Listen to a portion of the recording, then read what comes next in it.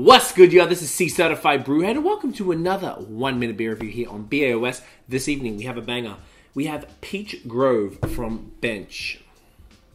And this beer is phenomenal. It's a sour ale, uh, aged peaches. Ooh, Niagara peaches by that. Look at this. Ooh, how glorious is that?